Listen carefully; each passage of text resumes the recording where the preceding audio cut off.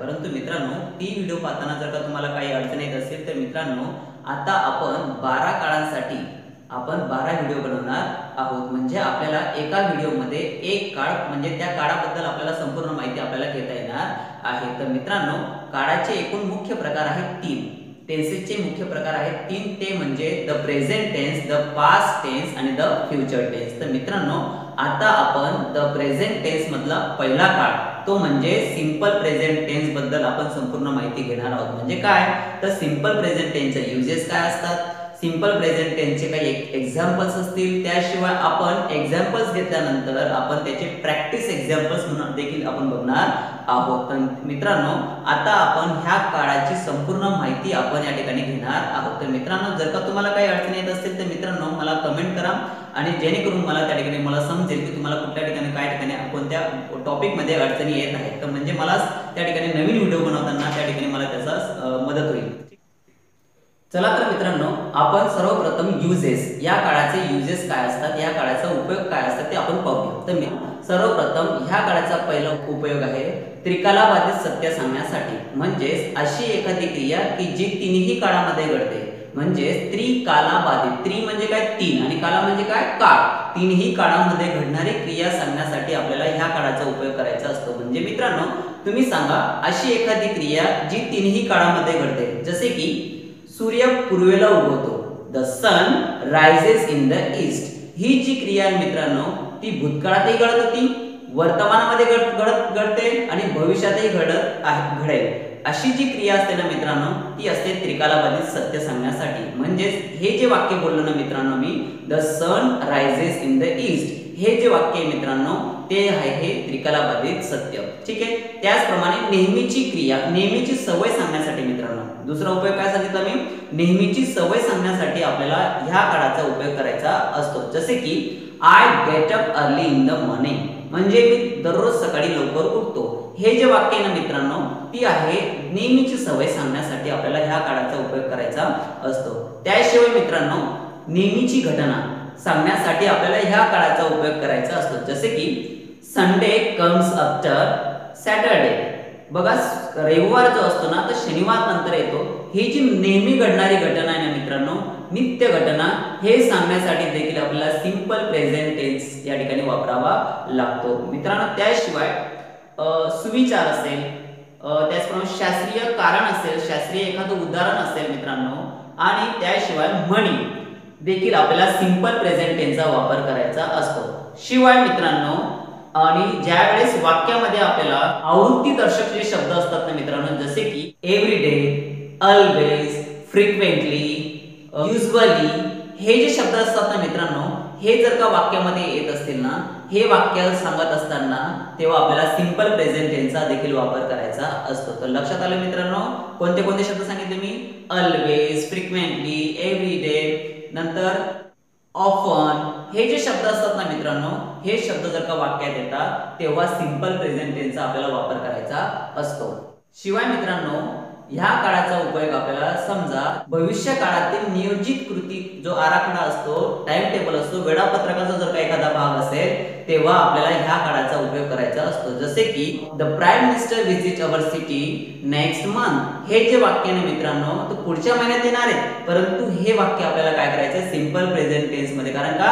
आपला time table वेळापत्रकाचा तो भाग आहे. म्हणून त्या ठिकाणी आपल्याला सिंपल प्रेझेंट टेन्सचा वापर करायचा असतो. He go to Kolkata next week we go to Calcutta next week हे जे वाक्य ना मित्रांनो हे देखील सिंपल प्रेझेंट टेन्स आहे. तर अशा प्रकारच्या मित्रांनो आपण हे जे युजेस बघितले ना मित्रांनो हे युजेस आहेत सिंपल प्रेझेंट टेन्सचे अगदी सोपं आहे मित्रांनो. जर का तुम्ही लक्ष देऊन ऐकलं ना तुम्हाला परीक्षेमध्ये म्हणजे उदाहरणार्थ मित्रांनो तुम्हाला बँकिंग परीक्षा द्यायची असेल बँकेची असेल रेल्वेची असतील तलाठी असतील कुठल्याही कुठलीही स्पर्धा परीक्षा जर का आले ना मित्रांनो त्या ठिकाणी आपल्याला योग्य क्रियापद योग्य काळ वापरण्यासाठी आपल्याला सांगितलेला असतो. त्यावेळेस आपण हे जे हे जर का आपण युजेस बघितले ना मित्रांनो लक्षात ठेवले तर त्या ठिकाणी तुमचं एकही वाक्य चुकू शकणार नाही. तर चला तर मित्रांनो आपण एक्झाम्पल्स बघण्याआधी आपण सर्वप्रथम ह्या काळाचा फॉर्म्युला बघूया. सर्वप्रथम आहे subject plus V one oblique V five plus object oblique complement subject yes yes म्हणजे काय या ठिकाणी? सब्जेक्ट असतो. सब्जेक्ट म्हणजे काय? विषय नव्हे. तर लक्षात आलं मित्रांनो? विषय नाही. तर सब्जेक्ट म्हणजे ग्रामरमध्ये जर का आपण अभ्यास करत असू तर सब्जेक्ट म्हणजे कर्ता असतो. लक्षात आलं? करता कोण असतो? जो क्रिया करणारा असतो. या ठिकाणी ह्या वाक्यामध्ये जो कोणी क्रिया करणारा असेल ना मित्रांनो तो करता आपला काय करायचा असतो? सर्वात सुरुवातीला घ्यायचा असतो. तो सब्जेक्ट लक्षात आला? येस फॉर सब्जेक्ट असतो. करता असतो. क्रिया करणारा हा वाक्याच्या सुरुवातीला घ्यायचा असतो. तर त्याच्यानंतर क्रियापदाचं पहिलं V for verb V for verb असतो मित्रांनो. आणि वर्बचं कितवं रूप सांगितलं आपल्याला? पहिलं रूप. शिवाय किंवा क्रियापदाचं म्हणजे वर्बचं किती रूप? पाच रूप. म्हणजे त्या वाक्यामध्ये क्रियापदाचं पहिलं रूप घ्यायचं किंवा क्रियापदाचं पाचवं रूप घ्यायचं. किंवा म्हटलेलं मित्रांनो म्हणजे व्ही वन किंवा व्ही फाईव्ह दोघांपैकी एक घ्यायचं असतं. म्हणजे हे कोणानुसार? हा जो करता असतो ना मित्रांनो तर कर्तानुसार आपल्याला हे व्ही वन किंवा व्ही फाईव्ह वापरायचा असतो. म्हणजे जसे की तुम्हाला व्ही वन म्हणजे काय माहिती असेल ना तर व्ही वन म्हणजे काय? साधं रूप. त्याला कुठलंही प्रत्यय लागत नाही. व्ही वन म्हणजे साधं तुम्हाला तुम्हाला उदाहरणार्थ सांगतो मित्रांनो जसे की प्ले हा व्ही वन आहे ठीक आहे? प्ले काय? व्ही वन आहे. त्याचं व्ही टू असतं त्याला ईडी लावायचा. व्ही टू म्हणजे काय? ईडी लागतं. हा व्ही वन आहे. व्ही टू ला ईडी लागतो. व्ही थ्री ला देखील ईडी लागत असतं म्हणजे प्लेड व्ही फोर ला काय लागतं मित्रांनो? आय एन जी लागतो प्लेइंग आणि व्ही फाईव्ह ला काय लागतं? यस किंवा ईएस प्रत्यय लागत असतं. V one V two V three V four V five V वनला काय? व्ही वन काय असतो? साधं रूप असतो. त्याला कुठलेही प्रत्यय लागत नाही मित्रांनो. तो मूळ क्रियापद असतं. त्याशिवाय व्ही टू म्हणजे काय? त्याला ईडी लावायचा. म्हणजे ते भूतकाळी रूप असतं. व्ही थ्री म्हणजे काय? हे देखील भूतकाळी रूप असतं. त्याला ईडी लागत असतं. व्ही फोर म्हणजे काय? त्याला आय एन जी लावतात.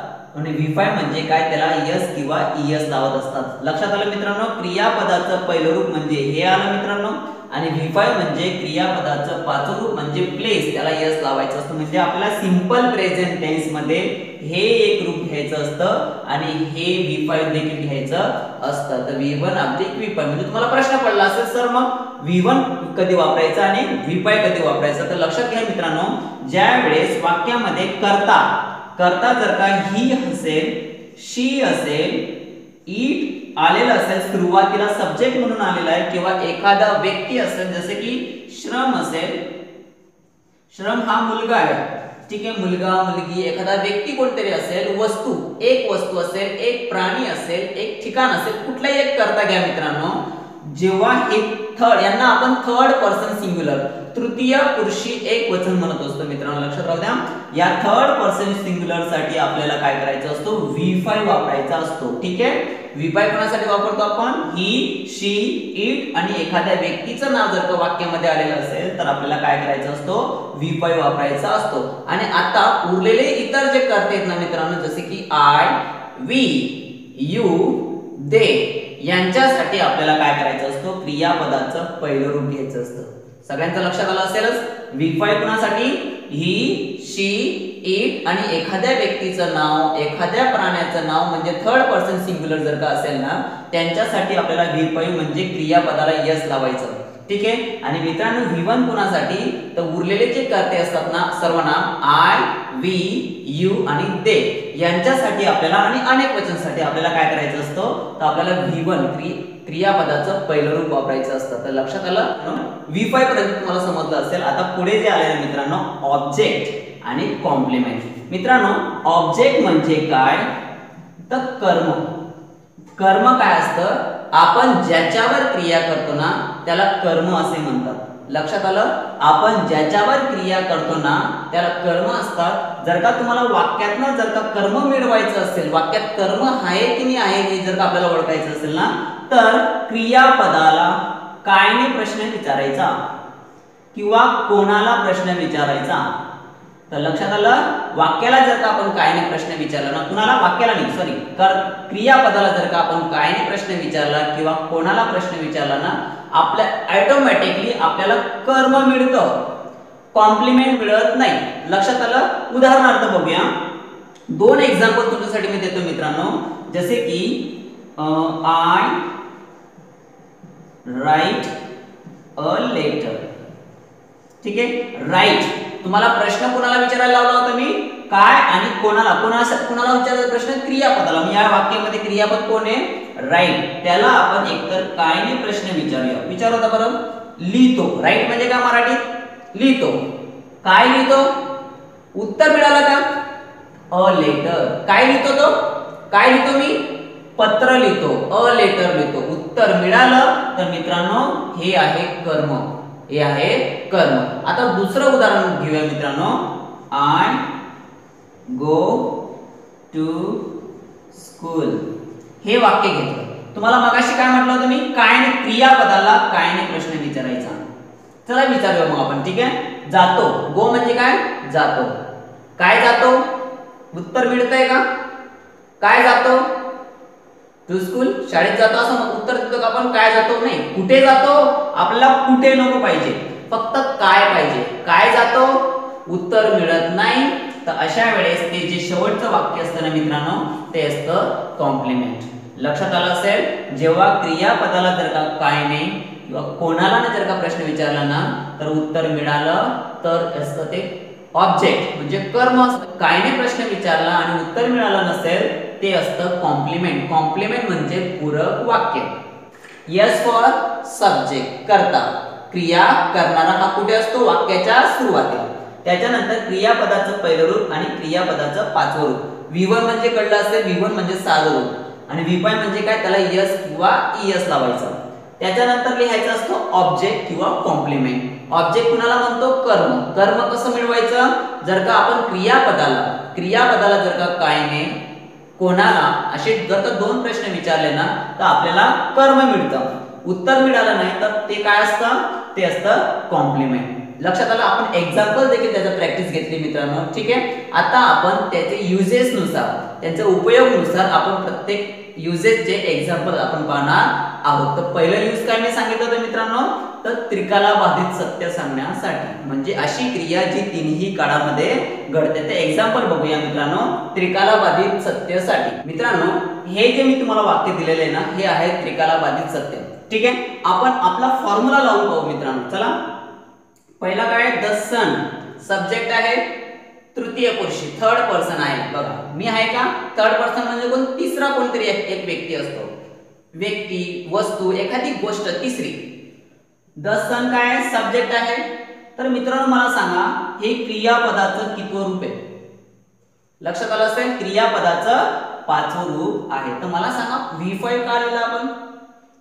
Third person singular the sun third person singular कुणाला म्हणतो? जर का तुम्हाला अडचण येत असेल ना मित्रांनो तुम्हाला फर्स्ट पर्सन कुणाला म्हणतात सेकंड पर्सन कुणाला म्हणतात थर्ड पर्सन कुणाला म्हणतात तर वर दिलेल्या व्हिडिओवरती आय बटन वरती क्लिक करा. त्या ठिकाणी तुम्हाला प्रोनाउन्स मी दिलेले आहेत. संपूर्ण डिटेल माहिती मी प्रोनाउन्स संदर्भात दिलेल्या आहेत. तुम्हाला काही अडचण येत असेल तर त्या ठिकाणी आय बटनमध्ये क्लिक करा. त्या ठिकाणी संपूर्ण माहिती दिलेली आहे. आहे सब्जेक्ट व्ही फाय वापरलाय. व्ही फाय ठीक आहे थर्ड पर्सन म्हणजे थर्ड पर्सन सिंग्युलर म्हणून त्या ठिकाणी व्ही फाय वापरला? आणि मला सांगा मित्रांनो हे काय? ऑब्जेक्ट आहे की कॉम्प्लिमेंट आहे in the in the east ठीक आहे? बघूया. राईजेस उगवतो. काय उगवतो? हे उत्तर आलं का? उगवतो. म्हणजे त्याला काय नाही प्रश्न विचारूया आपण. उगवतो. काय उगवतो? असं विचारतो का? कुठे उगवतो? कुठे नको पाहिजे आपल्याला? काय? नाही आलं? समजून घ्या ते असतं कॉम्प्लिमेंट लक्षात आलं मित्रांनो? हे झालं त्रिकाला बाधित सत्य सांगण्यासाठी हे ह्या काळाचा उपयोग करत असतो. तर मित्रांनो त्याचप्रमाणे नेहमीची सवय सांगण्यासाठी चला त्याचं उदाहरण आपण बघूया मित्रांनो. नेहमीची सवय. तर मित्रांनो बघूया आपण फॉर्म्युलानुसार आपण एक्झाम्पल पाहूया. सब्जेक्ट आहे ठीक आहे आय ठीक आहे? म्हणून आय हे फर्स्ट पर्सन आहे बघा मित्रांनो. फर्स्ट पर्सनसाठी काय वापरतो आपण? व्ही वनच वापरतो क्रियापदाचं किती रूप आलेलं आहे? V one get up. V one आहे. आणि अर्ली इन द मॉर्निंग काय ऑब्जेक्ट आहे की कॉम्प्लिमेंट आहे? तर लक्षात आलं मित्रांनो ते आहे कॉम्प्लिमेंट जर का आपण क्रियापदाला काय नाही प्रश्न विचारला तर हे उत्तर येत नाहीये. तर म्हणून ते कॉम्प्लिमेंट आहे. हे झालं उदाहरण मित्रांनो. नित्य नियमाची सवय नेहमीची सवय झाली. ठीक आहे? आता पाहूया मित्रांनो आपण दररोज घडणारी घटना. तर मित्रांनो संडे हा नेहमी सॅटरडे नंतर येतो. ही नित्य नियमांची घटना आहे बघा मित्रांनो. हे नेहमी होतं. म्हणून त्या ठिकाणी आपण बघूया कोणता फॉर्म्युला वापरलेला आहे. हा सब्जेक्ट आहे.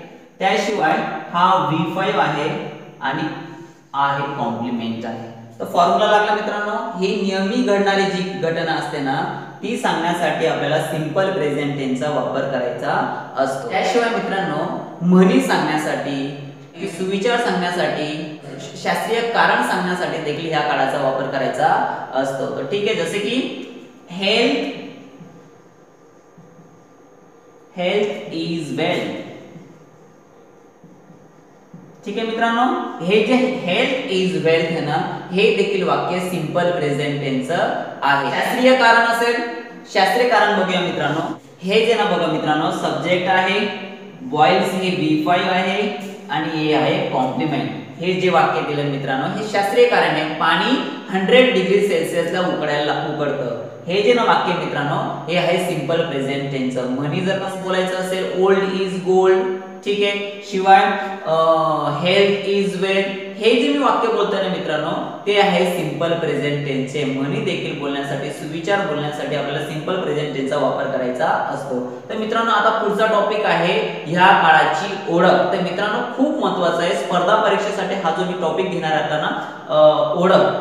खूप महत्त्वाचा आहे. मित्रांनो मराठीच्या ग्रामरसाठी देखील खूप महत्वाचं आहे आणि इंग्लिशच्या ग्रामरसाठी देखील महत्वाचं आहे. ज्यावेळेस मी स्पर्धा परीक्षा देणार आहेत ना कुठल्याही तलाठी वगैरे वेगवेगळ्या प्रकारच्या पोलीस भरती असतील किंवा कुठल्याही इतर स्पर्धा परीक्षा देत येणार ना मित्रांनो त्या ठिकाणी तुम्हाला मराठीचं वाक्य किंवा इंग्लिशचं वाक्य विचारलं जाईल. मराठीचं वाक्य जर का आलं ना मित्रांनो तुम्हाला विचारलं जाईल हे वाक्य कोणत्या काळाचं आहे? तो ओळख बघा मित्रांनो तर का ह्या वाक्यामध्ये एखाद्या वाक्यामध्ये जर का या काळामध्ये वाक्याच्या शेवटी क्रियापदाला तो ते तात. हे जर का प्रत्यय आले ना मित्रांनो वाक्याच्या शेवटी क्रियापदाला हे जर का लागलेलं असतं ना मित्रांनो तर समजून घ्या हे वाक्य आहे सिंपल प्रेझेंट टेन्सचे तर कसं ते मित्रांनो? चला तर मग आपण बघूया. हे वाक्य कोणत्या काळाचं तुम्ही पाहिलं असेल? Subject plus V one plus object म्हणजे सिंपल प्रेझेंट टेन्स आहे. तर या वाक्याचा मराठी अर्थ आहे मी. गो म्हणजे काय? जातो. शाळेत. ठीक आहे? मी शाळेत जातो. क्रियापदाला काय लागलं मित्रांनो? तो लागलाय म्हणजे ज्या वाक्यामध्ये क्रियापदाला तो लागलेला असतो ना क्रियापदाला तो तर समजून घ्या ते वाक्य असतं सिंपल प्रेझेंट टेन्स मुलगा असेल तर जातो मुलगी असेल तर जाते अनेक व्यक्ती असतील तर जातात. म्हणजे तो ते तात लागलेले प्रत्यय जर का राहिले ना मित्रांनो समजून घ्या ते वाक्य असतं सिंपल प्रेझेंट त्यांचं तुम्हाला मराठीत हे वाक्य दिलेलं असेल ते मराठीतलं वाक्य कसं असेल मित्रांनो? हे वाक्य दिलेलं असेल तर तुम्हाला त्या वाक्याचा काळ ओळखायचा आहे. ठीक आहे? तुम्हाला माहिती असलं पाहिजे क्रियापदाला तो जर का लागलेला असेल ना शेवटी तर समजून घ्या ते वाक्य असतं सिंपल प्रेझेंट टेन्स अगदी सोपं आहे मित्रांनो लक्षात ठेवण्यासाठी. तर ह्या काळामध्ये आपण जवळजवळ त्याचा उपयोग बघितला मित्रांनो. प्रत्येक उपयोगाचं एक्झाम्पल बघितलं मित्रांनो. त्याशिवाय प्रॅक्टिस एक्झाम्पल घेणार आपण. ह्या व्हिडिओच्या शेवटी तुम्हाला मी प्रॅक्टिससाठी काही उदाहरणं देणार आहेत मित्रांनो. आणि जर का तुम्हाला त्याचं उत्तर देखील मी शेवटी व्हिडिओच्या शेवटी देणार आहे. तर लक्षात आलं मित्रांनो याचं युजेस बघितले प्रॅक्टिस एक्झाम्पल बघितलं मित्रांनो. त्याशिवाय त्याचे ओळख बघितली. मित्रांनो अशा प्रकारचे ह्या व्हिडिओमध्ये जास्तीत जास्त टॉपिक मी कव्हर करण्याचा प्रयत्न केलेला आहे. तुम्हाला जर काही काही अडचण येत असेल मित्रांनो माझ्याशी शेअर करा कमेंट शेअर करा माझ्या व्हिडिओ सबस्क्राईब करा लाईक करा शेअर करा. धन्यवाद.